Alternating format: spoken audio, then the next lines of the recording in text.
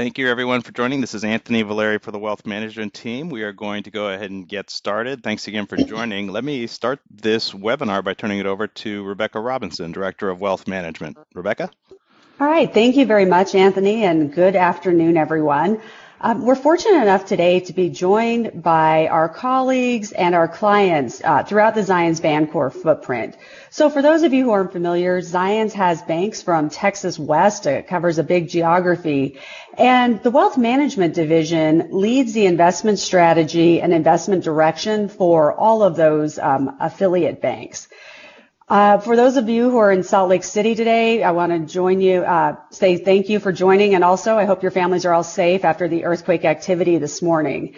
Once again, we find ourselves in another day of volatility and trying times, and there are really two key things that we focus on when we look at wealth management. The first is that we genuinely believe in long-term asset management. What we're doing today is providing updates on what's happening, what's a volatile situation, but we want to provide this in the context of we have seen where long-term asset management works and continues to work. We believe in diversification, and I think you'll see that today as you hear what Anthony talks about. We also uh, believe in planning. And so we're also fortunate today to be joined by Chris Considine, who is the Director of Wealth Planning for Zions Bancorp in times like these, having a plan is critical. And it's also critical that we acknowledge that we really only change our strategy when our plan changes. We believe that this long-term focus married up with long-term investment management leads to the best outcomes. So with that, I would like to hand the call over to Chris Considine um, and give you an intro on both of our speakers. Chris is an attorney and a certified financial planner. He has over 25 years of experience coming first out of large accounting firms and then has come um, up through the planning channels with various high net worth individuals. Anthony Valeri is a certified financial analyst. Uh, he is a director of investment management in addition to directing all of the investment strategy and the investment committee for the Bancorp, um, Anthony has also been featured on multiple uh, national news channels, and he's really looked to as an expert in this area. So with that, I will hand it over to Chris. Thank you, Rebecca. And thank you to the clients and teammates who've joined us on the call today. Um, for those of you who are in the Salt Lake City area recovering from this morning's earthquake, our thoughts and prayers are with you during this uneasy time. I do want to say to all of our clients, wherever you're located, that your decision to do business with us is an honor that we do not take lightly. We thank you for your business and we understand that you've entrusted us to help you navigate through difficult times like today. And this call is just one way we intend to earn that trust. More calls and seminars such as this are in the works, so please look for an email from your wealth management professional with dates and times for those additional events. Now, over the course of my 22 years creating and implementing financial plans for clients, I've seen my share of irrational exuberance and, quote, never ending bull markets. I've heard the doomsday predictions of a reversion to the gold standard and also heard that pets.com would become bigger than Disney one day. And I distinctly recall Ben Bernanke in January of 2008 saying, the Federal Reserve is not currently forecasting a recession which was truly ironic because we were actually already in a recession. And while those outlandish predictions are comedy in hindsight, they were believed as truth at the moment of utterance, which is why we are dedicated to communicating with you, our clients, as much as possible during this time of market volatility and personal uncertainty. Because just as the market is searching for a bottom, all of us are searching for perspective, a way of taking this current moment in time and placing it in its proper context. Now, Anthony, as our Chief Investment Officer, will step in in just a second to offer up some market perspective, but I wanted to speak just briefly about our role in working with you. Our goal is to help each of you make financial decisions that benefit you both today and in the future. Sometimes that can be accomplished through calls such as today's. However, I'd like to focus you for a moment on another powerful tool we have for helping clients through tough markets. That tool is a personal financial plan.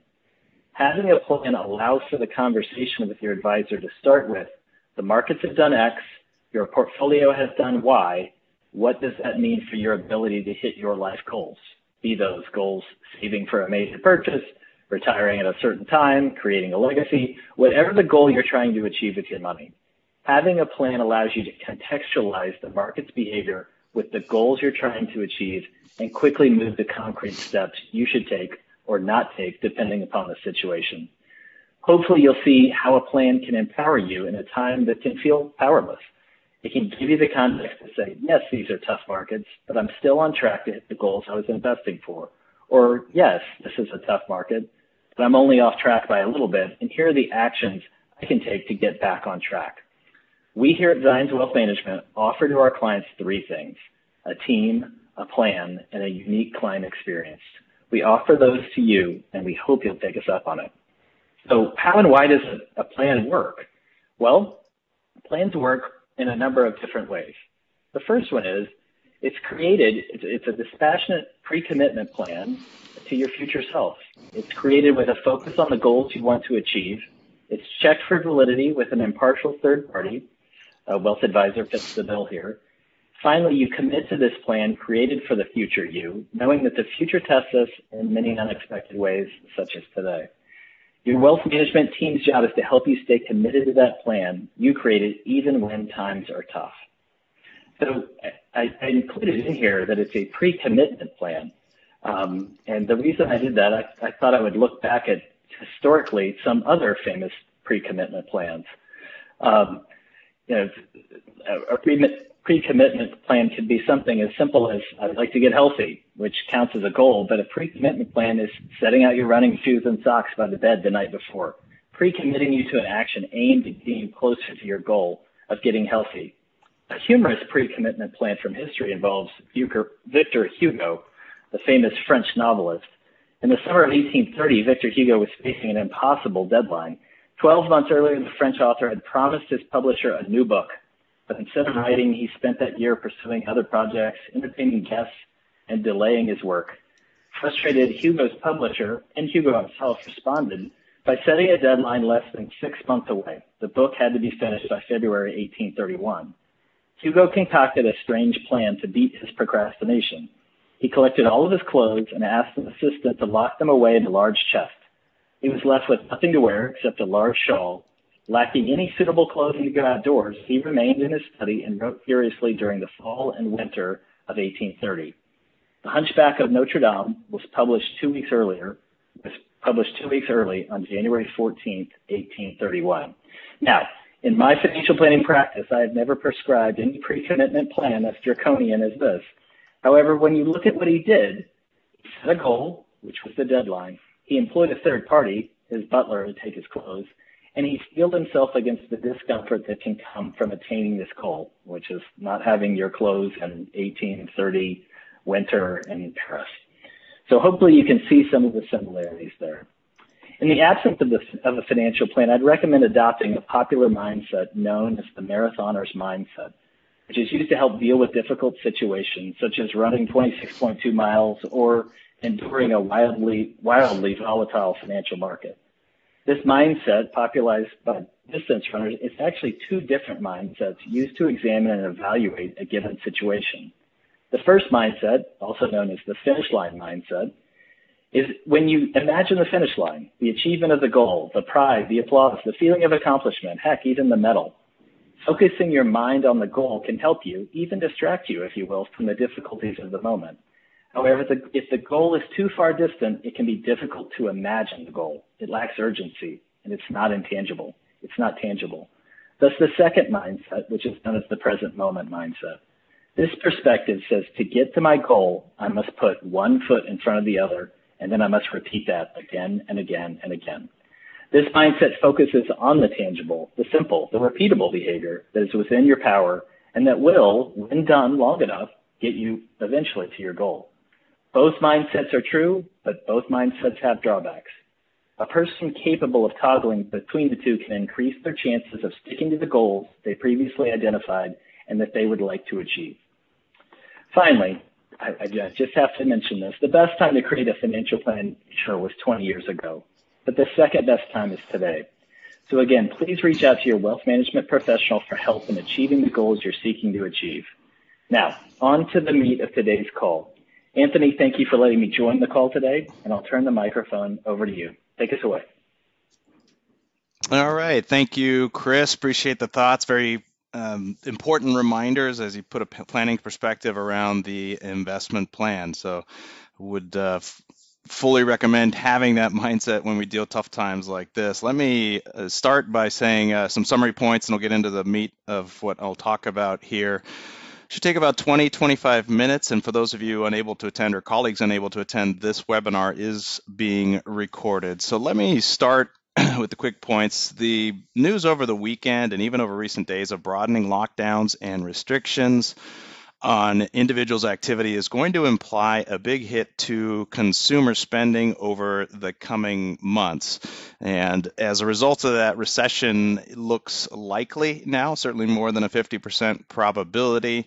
If there's a silver lining to that, is that these difficult markets largely reflect, reflect recession levels, and I'll talk more about that. In fact, this is the quickest move to a bear market, which is defined as a 20% decline in history. Stock valuations, particularly relative to bonds, are in attractive territory, uh, even more so after today's uh, difficult day. We are seeing and have seen the past few days signs of extreme pessimism. Now, those are important because they tend to act as contrarian indicators. They have been present in all market bottoms when there is a severe sell off. Uh, so that is one ingredient that I think is important that is in place for an ultimate rebound. But what we're missing is the buying interest, uh, even on up days. So yesterday, for example, was a strong up day in the stock market, but it was led by utilities, which is a defensive sector. We need to see that broad, that buying broaden out and see some of the former leaders uh, take control of this market or see the biggest gains. Not seeing that yet. So I think that's a missing ingredient here. We're likely to see it in coming weeks perhaps months, but this is, um, we're not quite there yet. Uh, the Fed took some bold action over the weekend with an emergency rate cut. They've also provided a number of liquidity facilities that should aid financial markets. I think this was a key step, had to be done, and it helps avoid a freezing up of credit markets. So the Fed is doing what it can. It uh, is basically gone all in, is the phrase I'm using, and now they've passed the baton to Congress, which is working on a fiscal stimulus bill. You may have read about that in the news. That number is being discussed around 750 billion to 850 billion could be as much as a trillion or slightly more. That'll probably come in one to three weeks. That'll be another key ingredient for stabilizing these markets. Um, as difficult this is, this this is. It's important to understand that bottoming is a process, and as quickly as this has happened, it probably will take some time to ultimately pass, as was the case in 2011, 2015, 16, and 2018, as well as during the Great Financial Crisis in 2008 and 9. Um, again, we'll talk more about that in prior examples. We, as mentioned throughout this call, strongly encourage remaining disciplined to your long-term investment strategy. The math works, and it is the key to growing wealth over time. Now, let me move first to uh, some of the economic impacts of the virus and where you can first see that. I think a lot of folks are know that the travel and hospitality business is being hit harder. This is data from Airbnb on occupancy rates for three major cities uh, in the U.S. And you can see the sharp decline there that we're experiencing, the projections, the cancellations through the coming months. You're seeing this across the board. Marriott announcing that it will lay off workers as a result of that. And again, this is the primary impact and the first evidence of the expectations of what could happen to the economy as, as a result of lockdowns and restrictions. If we use China, there's a there is a blueprint there of ultimately how it's affected the local economy there, and the lockdowns and restrictions affected a number of industries. You see those listed here with the decline of consumption across a variety of industries. And they range from about down 30% to down 80%. So, pretty severe uh, declines across a number of industries. So, that's what the stock market is reacting to in anticipation of something similar in the US in terms of an economic reaction. Uh, yet we recently had uh, Monday the first U.S. data point to cover March or part of March, that is. And this is the Empire Manufacturing Index. It is a regional, it's put up by the New York Federal Reserve. It is a regional survey of manufacturing activity, similar to the national ISM, which we place a lot of emphasis on. Uh, and it did decline sharply. It's on its way to levels you can see witnessed in 2008 and 2009. So it, when you have everything suddenly stop or grind to a halt, you're going to see some some ugly uh, economic data. I think a lot of this was expected, but this is the first data point that really has come in to show the impact to the U.S. economy. Um, it, on a related note, forecasts for the second quarter economic growth are are coming in. They are anywhere from down 3% to down 10%. Those are some big declines for the second quarter, uh, and full year economic growth looking at zero or possibly even a decline. Those estimates are still being refined, but just to be aware, that's the type of data we're likely to see in the second quarter as a result of this of uh, restrictions from movement for individuals. A couple of heads up just to brace yourselves on data that we will likely see in the coming weeks. Jobless claims, there are a number of reports coming from states that jobless claims are increasing rather quickly. Uh, so next Thursday, uh, and weekly jobless claims, um, as the name implies, come out weekly, but they come out every Thursday. Next Thursday, we'll cover this current week. Uh, likely to see a big jump or a spike in jobless claims there and wouldn't be surprised to see that ultimately move towards some of the peaks witnessed during the financial crisis again just simply due to what's happening in the hospitality and leisure industry. Like again uh, with the employment report which will be out in early april likely to see a very negative headline there uh, negative headline there. I think the markets already know that but just so you are aware of it Keep in mind that in any given month, the economy loses about 1.9 million jobs, but creates just over 2 million. That is repeated month and month again, give, give or take. But when you have a situation where the economy is essentially on lockdown, there's not much any activity, you won't have any hirings, and what's left with would be uh, presumably the firing. So we could see a pretty bad monthly jobless print uh, coming. I think legislators are aware of that. The Fed is aware of that. So just be aware that is coming. And in terms of economic data, the second quarter is really going to reflect the worst of this impact. The the flip side of all of this is is that it should be a sharp impact that ultimately resolves itself relatively quickly. If we do get some resolution on the spread of the virus, uh, and in Italy the cases increase, but the number of increase, the number of cases, uh, new cases, the last few days have been stable at about 3,500.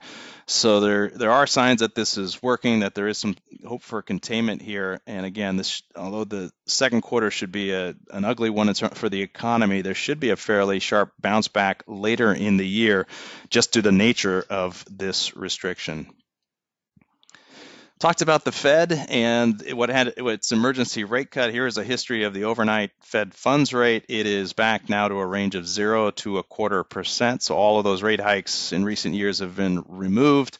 Uh, the Fed had to do this um, and and really step into the markets to provide liquidity. Now, there's only so much the Fed can do, but they did launch a bunch. Uh, in addition to the rate cuts, they restarted bond purchases.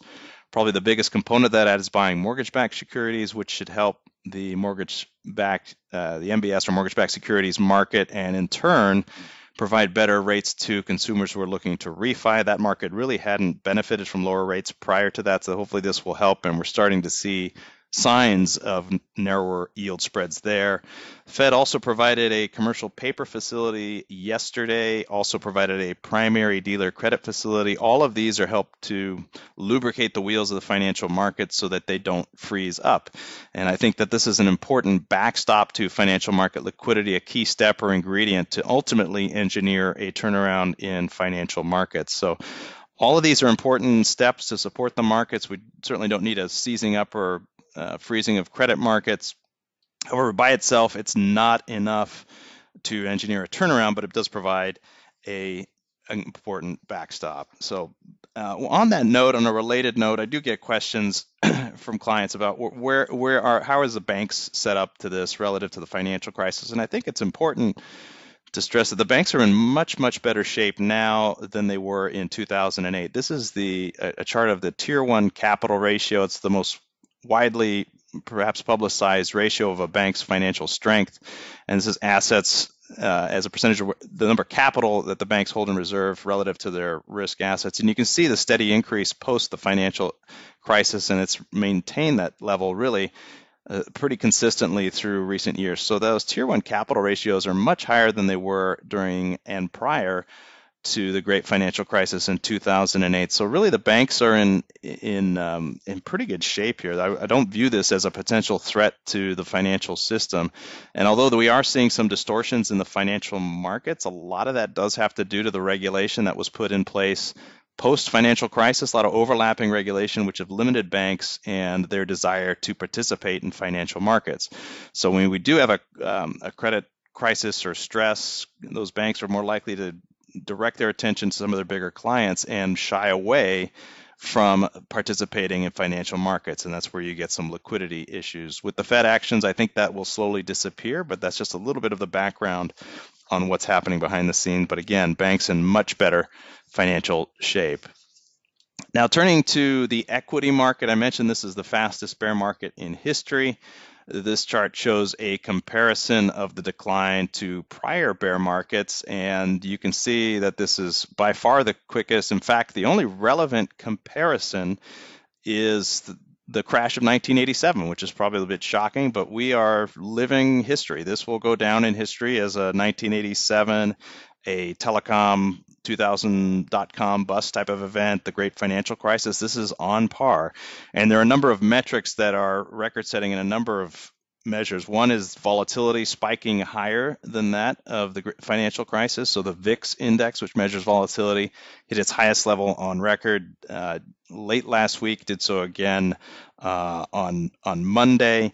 The, uh, the, last time the market did not move by at least one percent was back in February. So the month of March has mo- witnessed a one percent move, at least a one percent move up or down every day in March. So uh, some extraordinary comparisons. Um, relative relative to history and again just to just to iterate just how what a shock this is on the on terms of a, a sharp decline in the markets now where are we uh, in terms of a decline and following today's decline down about 30% from the peak right now the current pullback as you see on this chart is roughly in the middle of what stocks decline during a recession. Uh, the on the far right and uh, third from the far right are years of the Great Depression.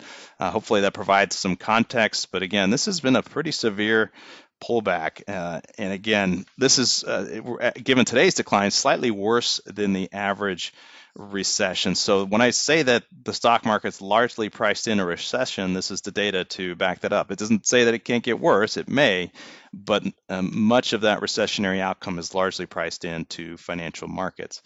And one of my favorite charts to show that volatility is normal to the far right. You can see the 2020 action, the intra-year decline, which again I mentioned is about 30% now. It's already one of the largest intra-year declines that we've seen certainly since 1980 and before then. So lots of bad news already priced into financial markets. And again, if you look at a history of bear markets, if you just looked at that part, just the, even with a recession or without, uh, these are they don't happen that often. This is since the end of World War II, and we've got a total of 12 occurrences including the current one, and down 33 has been the average decline. There's been some that are worse, the great financial crisis, and of course the unwinding of some very, very expensive valuations in the late 90s from the telecom and tech bubble.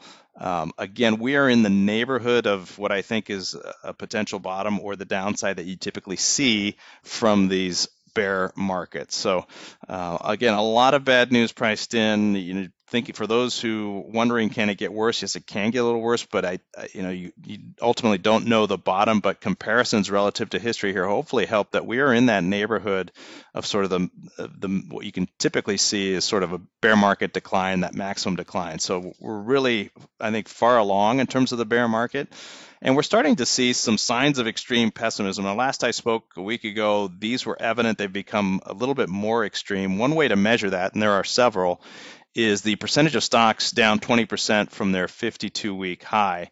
Uh, and if you look here, that number has increased to 89%. This was through uh, Monday, uh, just sign of extreme pessimism that often corresponds to a bottom in the markets. These are sort of the contrarian indicators that are often in place when just when things look their worst is when you tend to see a bottom get put in place. Uh, there's a number of measures to to reflect that as well. Um, I talk, I've often talked about on this webinar the put to call ratio, which is the, the percentage of investors or percentage of puts, which are downside protection relative to calls. That spiked to an all-time high on Monday. So then that also reflects extreme pessimism. Another stat to point out to you: the number of times that there have been no 52-week highs only happened uh, nine times in history. All but one of those happened uh, during the 2008 2009 episode, and the other was in 2015 during that particular pullback. So, as far as signs of extreme pessimism, extreme fear, it's there. It's just the buying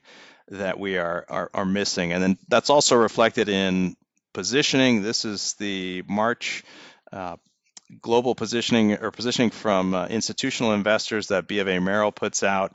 Uh, this chart shows the decline in equities. It's showing minus 35, but that's a relative change from the prior month. So it's not like they cut stocks 35 percentage points, but just showing you the big reduction in equities and corresponding move to cash. And again, these are contrarian indicators. When the market gets that defensive, it ultimately sets the market up for a rebound going forward. So just need that buying to come in. And I think there's some other indicators we need to watch before that ultimately resumes. I'll talk more about that a little later. Let me shift to valuations, and the market is cheap here. This is the PE ratio on the S&P 500. It's been a sharp along with the pullback, a sharp revaluation of equity market valuations.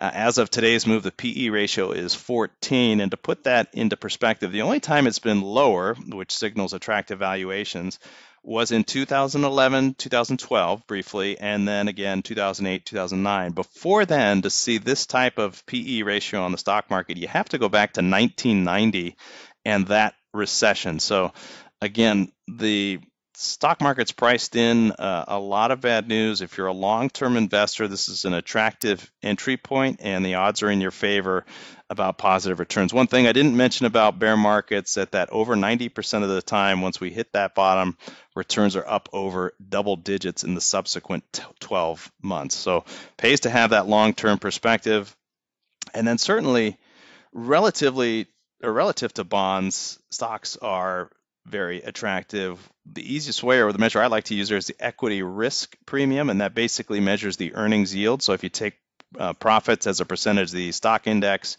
you can get a percentage number and then compare that to the 10 year treasury yield. This is uh, often what's called the Fed model for valuing stocks. And you can see the increase there 430 basis points, 4.3%.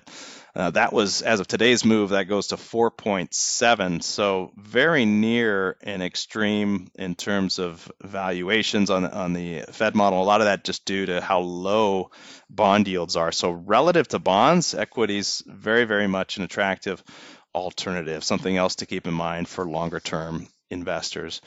Uh, now, I talked about that buying interest uh, really still missing in the market, and, and a, an important concept that I like to convey to uh, investors and clients is that bottoming is a process. So the it doesn't necessarily happen in a day or a few days. It can take several weeks to a few months. And I'm going to show you a few examples here. This is the the pullback of 2015 and 16, which didn't quite reach a bear market, came very close. But you can see the sharp sell-off. It actually started in August of 2015 with China devaluing its currency. There was a sharp pullback.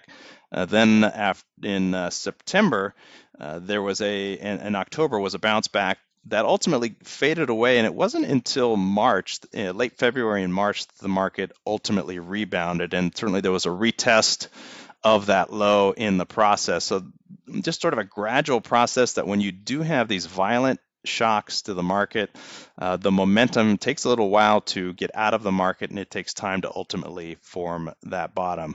2011, a similar case, weakness started in response to European debt crisis and then the uh, downgrade of U.S. Treasuries from AA. Uh, that that weakness started late July and early August, and it didn't uh, rebound ultimately until October with some extraordinary measures from the European Central Bank. So again, a, a sort of a multi-week, a few month process there. And then of course 2008, 2009, really the the more violent reaction there came obviously started in September of 2000 and eight, and then ultimately the market rebounded in March of 2009. A little bit longer given the severity of the financial crisis, but something to keep in mind that, again, bottoming is a process. It takes time, and I think that'll likely be the case here as well. Again, I think most of the downside behind us, and the market will chop through this as we get a better handle of the extent of the virus and economic impact. Let me turn towards the bond market here and talk about the high yield market. This will get some attention it has gotten some attention in the media, and the average yield spread or the compensation needed to hold high yield relative to treasuries has increased to about 8.5%. Most of that is due to the energy sector, which is about 14% of the high yield bond market. If you strip out energy, that yield spread is 5.5%, which is only slightly ahead or above the long term average of around 5%. So high yield really uh, can, outside of energy, not showing the stresses that might be indicated by the equity market. I think this could get a little worse just due to the uh, energy exposure. Maybe it exceeds goes to 10% yield spread. By comparison, in 2008, this had increased to uh, just over 20% at its worst. So I think this is relatively contained. Again, I think some improvement here would be an early indicator that equity market weakness uh, has subsided. But uh, just some perspective on, on high yield, you're likely to see continued headlines there. And then in the muni market, uh, you're seeing some distortions from the lack of liquidity. I think this is an opportunity for high quality bond investors.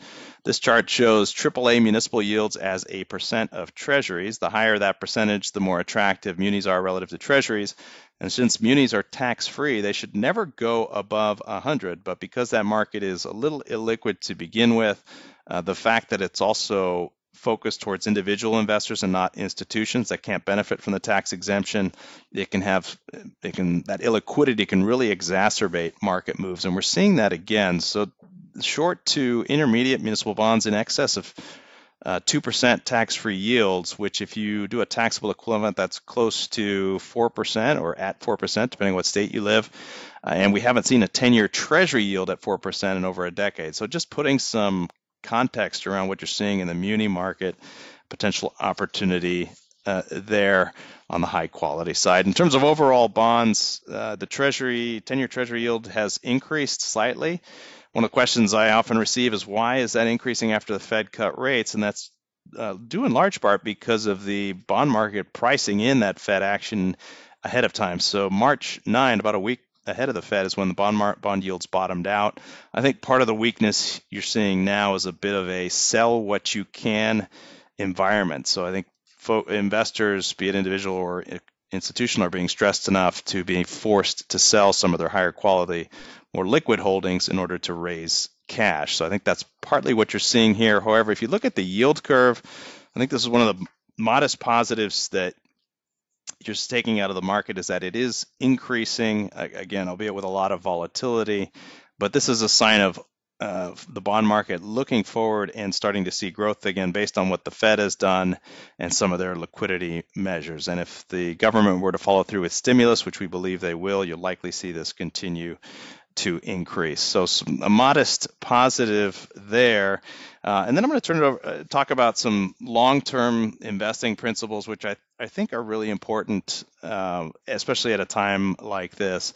So it's important to note that over time, you, we do have bear markets, but stocks do rise over time. So if you look at this chart, the sort of triangles sloping upward are bull markets. The top number shows the months at which that bull market was in place. The second number is the cumulative gain. And then the third number under that box is the annualized return. And you can see on the far right the current bull market. And then, of course, roughly uh, called one month of a bear market now. But this puts it into perspective on since 1926, the, both the bull and bear markets, and over time, stocks do rise. But hopefully, this provides some perspective that ultimately those losses are recouped. And another way to look at it is going back to 1926. This top bar shows the one-year return of the S&P 500. Uh, it shows annual calendar year returns. You can see that the periods with a loss are a minority, only 27% versus 73% with a gain. If you change the time frame to five years, which is the second set of uh, bar chart there in the middle, your odds of success improve dramatically. Positive outcomes are 87% with negative being 13. And that's from stocks alone, not including being diversified with bonds. If you were if you're including high quality bonds, a, a mix with bonds, at least a 50 50 mix, has never been negative over a five year horizon. And then finally, on the 15 year chart, you can see that all periods, 15 year rolling periods since 1926, have been positive 100% of the time. So, again, important to keep a long term outlook um, on all of this, and that trying to time the market is is is impossible. Trying to figure out whether now is a bottom. I think if you haven't sold already, you just have to wait it out and again look for cash to try to take advantage of this opportunity on a long-term basis. This table looks at what would your annual return be if you stayed fully invested, which is the blue bars, and then the annual return minus the best month. Uh, and you can see the purple bars both in up and down markets show weaker performance. So it's important to remain invested, as painful as this is. Uh, and it just shows that staying invested, weathering these ups and downs, having a diversified portfolio is definitely the way to go. For clients, I think that are invested, rebalancing to take advantage of some of this equity weakness and the bond market strength year to date would be appropriate. And uh, before I turn it back over to Chris, I wanted to talk about some of the items that we are watching to indicate a turnaround. So first would be the extreme panic, uh, which creates a contrarian signal, and I would say check that is there in the market. That's one of the signs we look for for a potential turnaround. Uh, another is more attractive valuations, and I would say check. We are there as as well. Uh, I don't know the exact point, but I think on the S&P 500 between 2000 and where we finished today in 2350 range is sort of the uh, or the bottom range could be a little lower, could be a little higher than that, but that's roughly where it is. So we do have those more attractive valuations. That's another check. A third would be aggressive Fed action, rate cuts. We've got that. Um, the the two that uh, I think we're missing, one would be aggressive fiscal stimulus, which I think is is coming, and then fifth, which might be most elusive, is I think the market really is looking for some sort of decline or deceleration in new cases of the virus, uh, and I think still think that may be uh, a few weeks away. But again, as sharp as this downturn is, there's a lot of evidence that this virus, with warmer weather, uh, does not have uh, the power it does to spread. So, you know, come summer, there should be some notable improvement and then a rebound later in the year. So, a unique shock to the economy, a, a demand shock. I think it's different than what the economy has faced before, but at the same time, I think the potential rebound, just because of the nature of this, could be as quick and strong. So let me uh, pause there. And Chris, I'll turn it back over to you. Thanks, Anthony. I'll, I'll give you a second to maybe get a sip of water and uh, maybe catch your breath for a second before I give it back for final thoughts. But um, you know, the, the main point I think I'd like to get, um, I'd like to conclude with is something that uh, we've been talking about a lot as a leadership team, which is having all of our clients focused and not fearful hopefully the data that uh, Anthony just shared with you is um, empowering you in order to be able to look at you know what your current position is and make some really focused decisions about it, not in, not uh, make decisions in an environment of emotion. So um, you know, thank you, Anthony, for sharing with us some of that historical information. I would also just like to point out with all of those charts that he's given, we've heard in the past, well, you know, this, this time it's, it's different. This time it, it's, it's unique. And we would say, yes, this time is unique. But just as the saying goes, you can never step foot in the same river twice. That doesn't mean you can't know a lot about the river. Um, you're going to be able to know when it when it flooded last time. You're going to know how long it flowed. You're going to have an idea of the challenges that it's faced in the past. This knowledge is going to help us evaluate the current situation with facts and data instead of fear and recency bias, which we know uh, plays a lot into um, some uh, poor decision making. Finally, the last two things I would just like to point out are please reach out. Your wealth management professionals are here to help you evaluate the current situation in light of your future goals.